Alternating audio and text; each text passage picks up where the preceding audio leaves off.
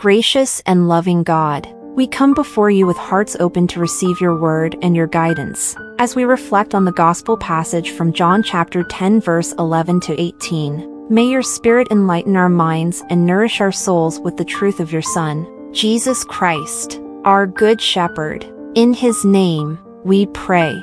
Amen. Our reading for today from the Gospel of John chapter 10 verse 11 to 18. I am the good shepherd.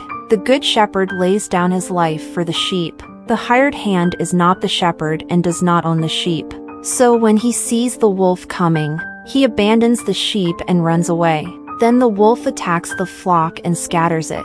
The man runs away because he is a hired hand and cares nothing for the sheep. I am the good shepherd. I know my sheep and my sheep know me, just as the Father knows me and I know the Father, and I lay down my life for the sheep.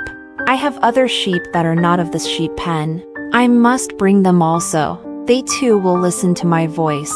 And there shall be one flock and one shepherd. The reason my Father loves me is that I lay down my life, only to take it up again. No one takes it from me, but I lay it down of my own accord. I have authority to lay it down and authority to take it up again. This command I received from my Father. In this passage, Jesus identifies himself as the Good Shepherd who lays down his life for his sheep. He contrasts himself with hired hands who lack genuine care for the sheep and are willing to flee in the face of danger. Jesus emphasizes his intimate relationship with his sheep, knowing them individually and being known by them. He speaks of his mission to bring together all his sheep into one flock under one shepherd, and he declares his authority to lay down his life and take it up again, as commanded by the Father.